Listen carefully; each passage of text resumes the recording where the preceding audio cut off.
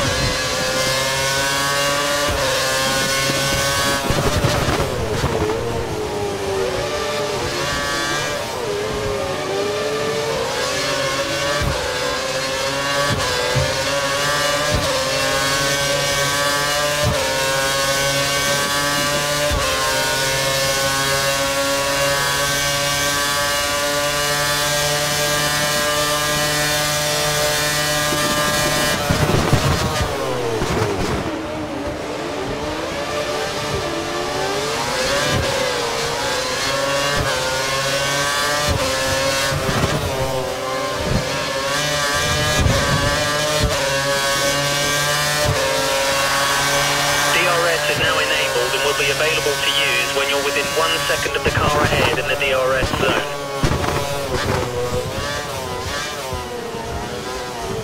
Nice driving. That was the fastest lap of the race.